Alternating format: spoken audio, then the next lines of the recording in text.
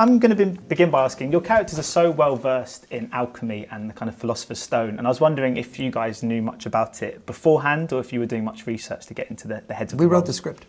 we knew a lot about it. No, I, I knew absolutely, Me not absolutely nothing, but you know the basics and some of the sort of characters, historical characters that people attribute um, knowledge of alchemy to. But um, no, that's always a fun thing to, to learn about something completely different that you have no need for in your normal, you know, everyday life. You come out with a bit of trivia at a dinner party.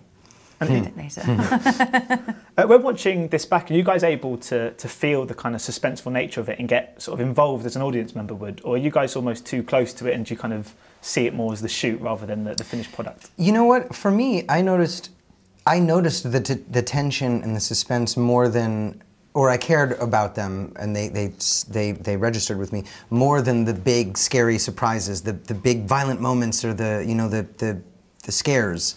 Uh, because I knew those were coming, and I was there, and I saw how they worked, and it wasn't as scary. But the, but I think what this movie's really good at is is suspense. It's not gratuitous in the scares. It's more about oh my god what's gonna something's gonna happen at some point where, what's around that corner and that was really palpable for me i really really felt that when i was watching Yeah, Yeah. no, I, I, that's that's a very good way of putting it. Um, it was. I've only seen it once. I'm desperate to see it again because you are always, obviously always going. Ooh, why did my hair look like my that My face is so enormous. Um, but um, yeah, no, we didn't have any. You know, the way that they've used sound and is really clever. There's no music um, to speak of, although you kind of feel like there has been. But um, so Yeah, with that the was a little really and the jump cuts, and it's been very, very cleverly put together. And it felt incredibly short. Was that just me? It felt like it was like 20 minutes. Yeah. It's just keeps it's it rolls along at, a, at, a, at, at, at quite a pace. Of course, the fact it's sort of shot sort of all on location, I mean, it must have evoked real sort of claustrophobia and kind of trepidation about, about the whole sort of setting. Uh, was there any scenes where the fear that we see on camera is sort of quite genuine, or, was, or were you always quite in control of, of everything in that regard?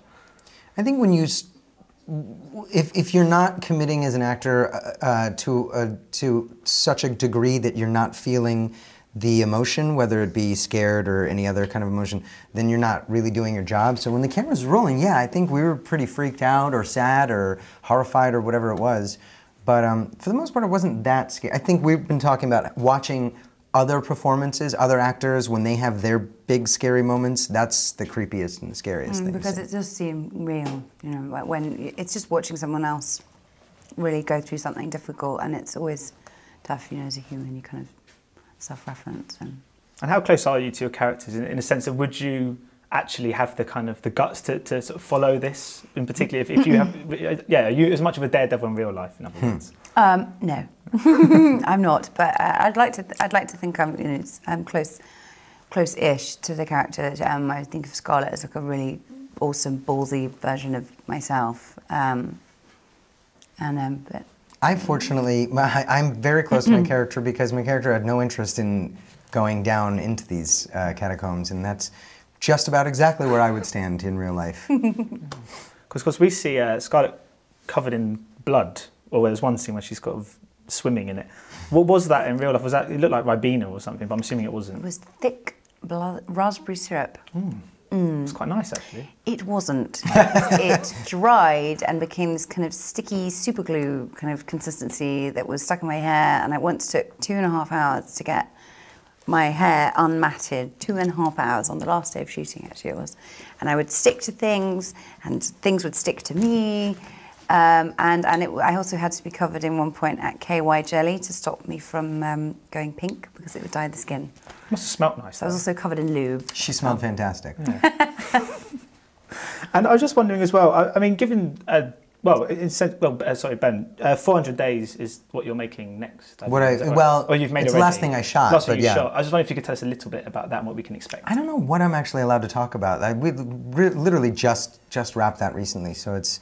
I mean, you know, we're astronauts. It's bizarre. It's also claustrophobic, um, and it sort of treads the line between what is what is real and what is a psychological breakdown, which I think is very similar to what this movie does. Hmm. And my, my final question for Dita, I was just wondering, because this is quite a departure for you from your career so far. I was wondering if, if it was a kind of conscious decision to take on a role that would mix things up a little bit and maybe, you know, change the pace mm-hmm. somewhat. Absolutely, it was exciting to when I when I won the role to think this is completely different to anything I've ever done.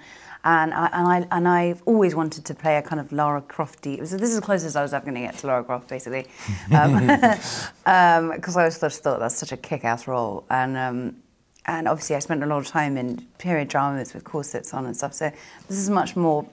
This is closer to obviously myself, but you know both are fun. It's always good to do something completely different, and um, um, so yeah. So it, it does make people probably more think about me in a slightly different way. Hopefully, That's always a good thing. always a good thing In a Bloodier way. in a bloodier way. Yeah.